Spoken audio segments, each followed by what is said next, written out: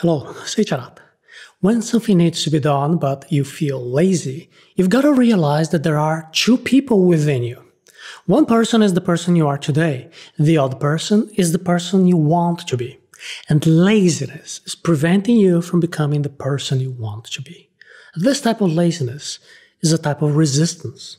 Now, resistance is a broader term for us to explain the difficulty of doing what needs to be done. Resistance makes you watch television instead of exercising. Resistance makes you scroll on social media when you should be actually working. Resistance makes you procrastinate instead of finishing writing your report. Resistance appears when you try to create something new in your routine to improve your life, but you are too lazy or scared or uncertain about how to start.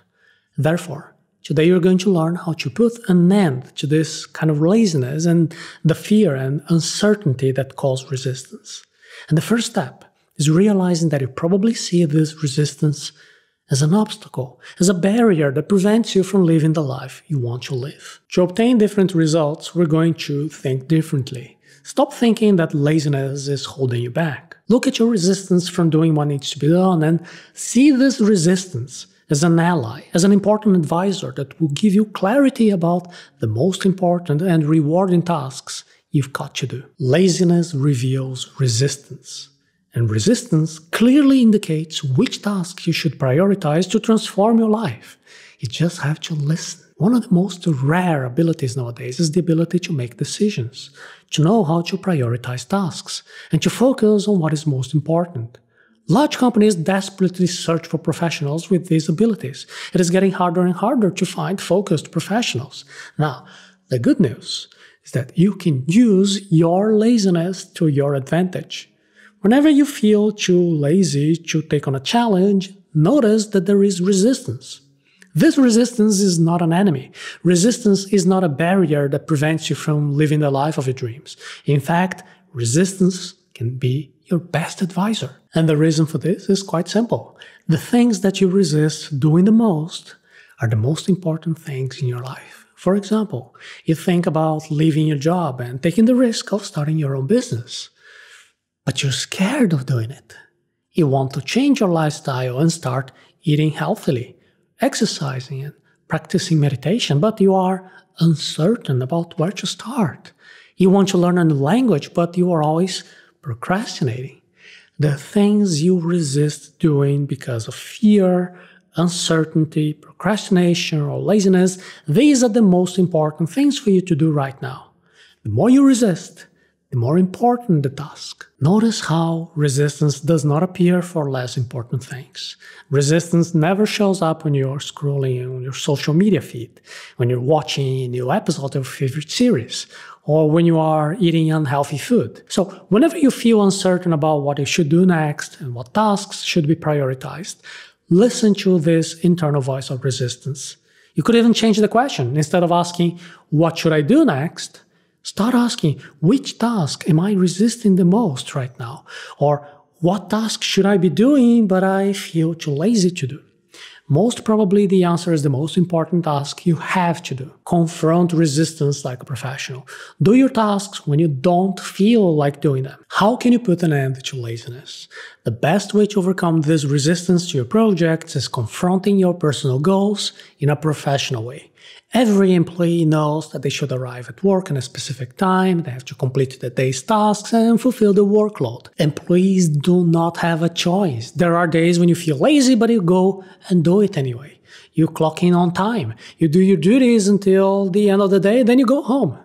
it doesn't matter if you are in a bad mood or if you're lacking motivation, you just go. When you confront resistance like a professional, you manage to do the same with your personal projects. When we speak about our dreams and our personal goals, usually we adopt a different perspective. Generally, we let laziness win. We are stalled by resistance. We wait for inspiration to appear, for motivation to increase, and we actually never start working on our project. We never start a diet or training that we wanted to do for a long time. We never study the language until we reach fluent proficiency. Author Steven Pressfield has a method to solve this confronting resistance like a professional. When he wants to write another book, for example, he clocks in at half past 10. He sits in front of his computer and then he writes during 4 hours until he has done that task that he assigned himself. It does not matter if he was feeling creative or not on that particular day. If he's feeling lazy or not, he simply sits down and then he writes during 4 hours in the same way that a worker goes to the factory and does their duties regardless of motivation. William Faulkner won a Nobel Prize in Literature with the same idea. He said, I only write when I'm inspired. Fortunately, I am inspired at 9 o'clock every morning. Resistance will be there every day, trying to feed off your fear, uncertainty, procrastination. But once you start to move, even if you feel lazy, resistance starts getting weaker. And if you move like a professional, always working on time and doing your duties, you will soon have the satisfaction of a job well done. The greater your resistance to a task, the more satisfied you feel once it is done. So far, you have found out that the tasks you resist the most are the most important tasks in your life, and also that the best way of overcoming resistance is confronting your personal projects like a professional. But the truth is that nobody will do a lot of difficult tasks over a long period of time without being rewarded. This could be a financial reward, or recognition, or simply feeling proud about a job well done. And here's the good news. In the same way that resistance indicates which tasks are the most important, it also reveals which tasks are the most rewarding when they're finally completed.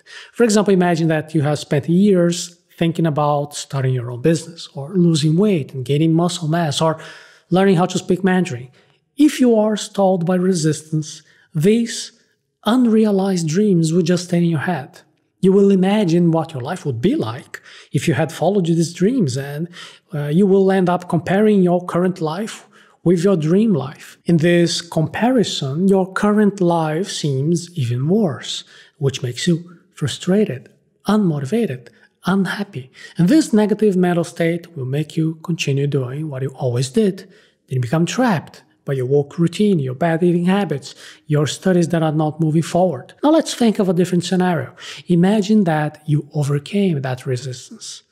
Even with fear, uncertainty, laziness, you confronted resistance and then you worked towards your personal goals like a professional. You started that business, you adopted a healthy lifestyle, you learned Mandarin, whatever it is, you realized your biggest dreams, whatever they are. It is obvious that you will be more satisfied than if you kept losing the battle against resistance. Achieving big goals is always more rewarding than suffering with the guilt of not doing what needs to be done, wasting your time and with less important activities. When you resist the task, it means it is very important which also means that it's going to be very rewarding when you finally take action and you do what needs to be done. Therefore, do not let yourself be stopped. Confront resistance like a professional and start realizing your biggest life goals today. We all have to deal with laziness and resistance. Even the most successful people in the world suffer with fear, uncertainty, and procrastination. It is not about whether or not you will be stopped by resistance. Laziness can be useful as it tells you what you need to do right now. Instead of treating this feeling like an enemy, you can use resistance as an ally.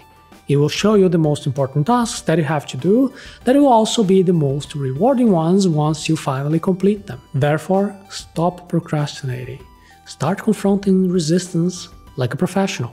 In the Productivity Ninja course, you can find various techniques to combat the habit of delaying your tasks and become a more productive professional. And you can watch a special Productivity Ninja class about procrastination right now by following the link arata.se forward slash delaying.